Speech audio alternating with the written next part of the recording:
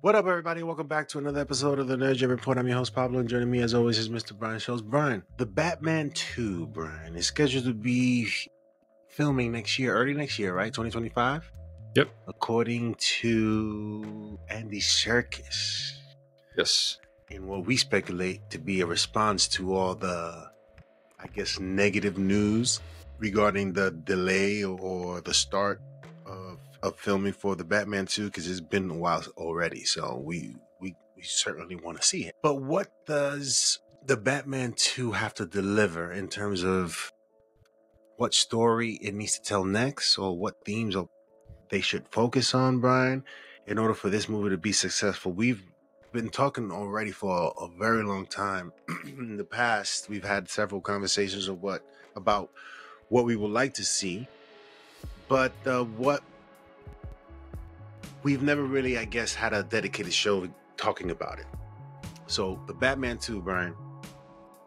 To me, Brian, what I need to see in order for the Batman 2 to be successful, because we can't see obviously more the same. I don't think Matt Reeves is that type, type of storyteller. But he certainly has to go and explore a couple of things.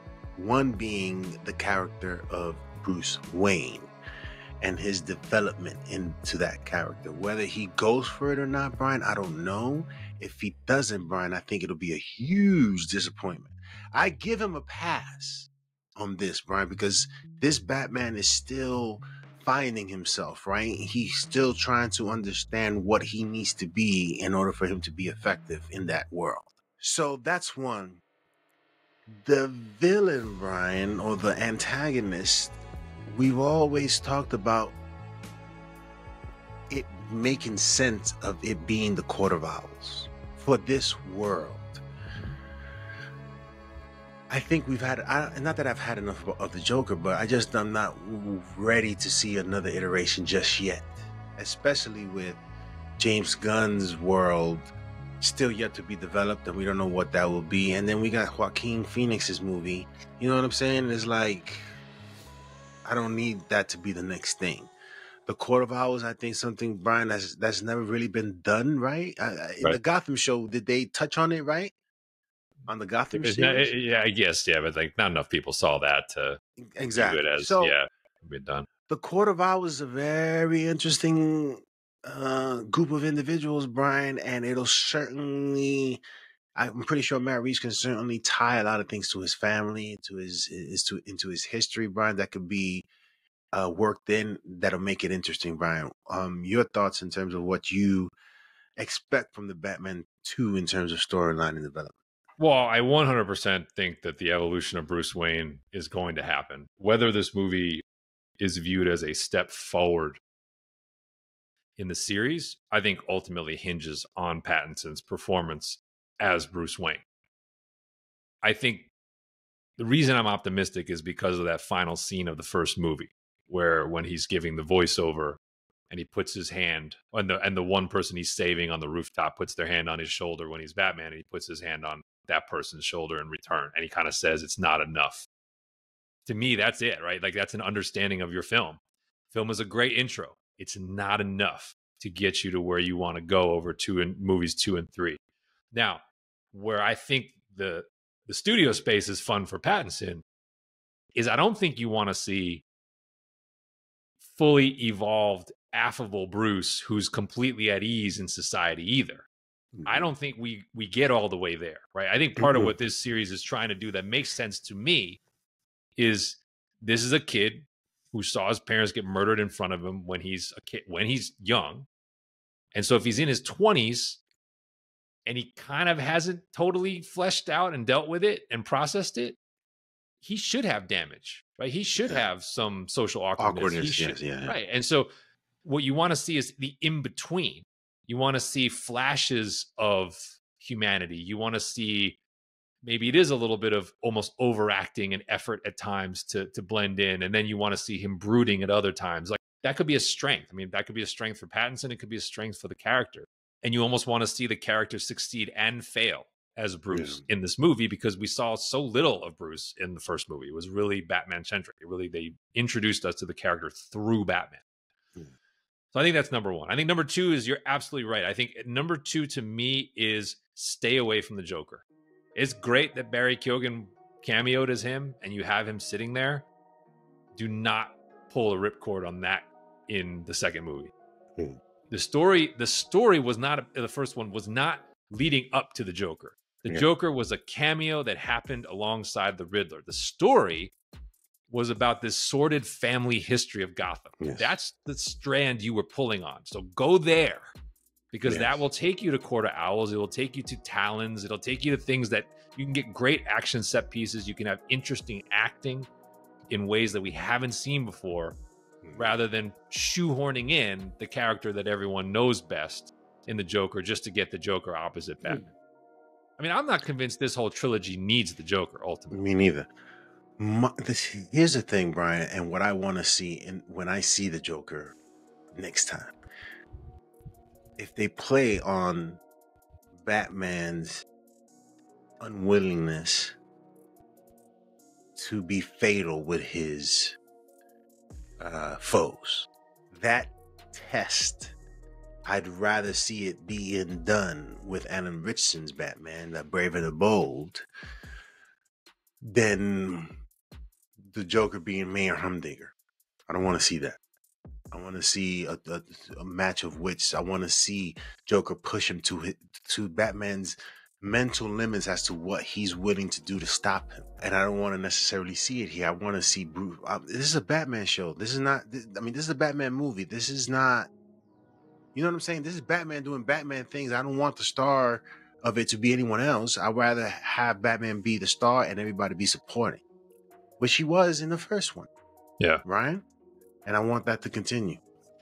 I agree. I also think another thing that would be problematic with bringing the Joker in into the second movie is the Riddler is not a physical opponent for Batman. The Riddler is a mastermind. We already saw this idea of Batman playing against the puppeteer effectively. In essence, the Joker would almost be riffing on that all over again. That I think would make the second one repetitive.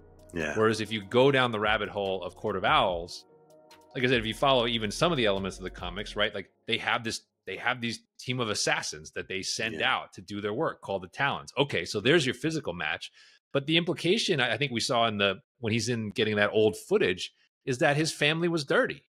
Like Yeah. that's implied. And that's Yeah. kind of interesting. Like they, you know, they Yeah. always hold they typically hold up the Waynes as sort of like the golden children of Gotham, right? And it's like I like the idea that Thomas Wayne might have been into some stuff and you know needed Yeah. Yeah. The families, That's yes. right? And so that's more interesting, I think, for the exploration of Bruce and Batman to kind of grapple with, and like what villains he comes into contact with there is to me like much more freeing. It's much more liberating to create Yeah. into a movie than it is to say like, hey, we got to go back to Joker's pulling the strings. And there's a henchman out in the field fighting Batman, and Batman's trying to, you know, run all over town and defuse bombs and solve mm-hmm. puzzles because he just did that and Mhm. sort of won and sort of lost right at the end of this first movie like he he solved a lot of the puzzles but the city got flooded like he kind of Yeah. lost like the bombs Yeah, went off Yeah. Yeah. so i don't want to see that again and i don't think anyone else does either Yeah. Brian, I, I, as you were talking, I, I was reminded of uh, the there was a rumor that the next film would uh, involve Hush. Mhm. Um, do you think Hush will be the main antagonist, or will the court of? Because if this is a trilogy, I would assume that Hush would be the sort of second act of a third act that will involve the Court of Owls. that that's very much a rumor so we don't we don't know if that's going to be true or not Mhm. they could always co-opt some of the comic stories and combine you know you could you could install a villain like hush and connect it to Court Owls and swap that person in um, for another role i guess i'm okay with it just because we haven't seen it i'd much rather see a villain we haven't seen before is it necessary I don't know. Like I said, I, I think it would be a bolder choice for this trilogy to really kind of mostly stay away from those sort of classic villains. But Yeah. I, I mean, I, I get why they would want to kind of have someone who's at least more physically, I don't know, I guess, I guess he's out there against him. Because because this is right. So Hush can fight, basically can fight as well as Batman can, um, in theory. And he also Yeah, can, but, uh, he could he could also disguise himself and like you know so there's you know he's almost like it's almost like fighting a, a Mission Impossible agent or something. Uh, and I, I kind of feel like maybe they want to have a little bit of that ch- kind of cat and mouse game. That's okay. I mean, I can live with that as long as the the, Court of Owls of have their fighters as well, though. Talons, right? Talons. Yeah, That's what I'm yeah. saying. You, if you made Hush the head of the Talons, you could probably put him into the, Gotcha. comic's true storyline if you wanted.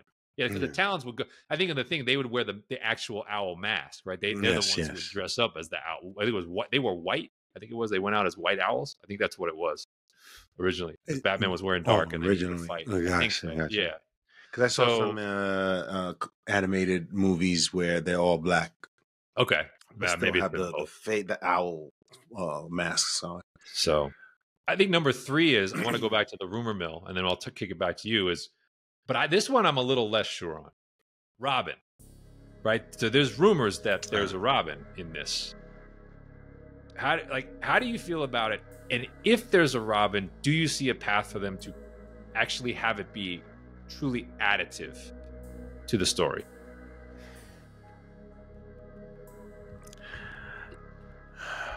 I just don't see any room for it, Brian. I can see it being possibly a third film where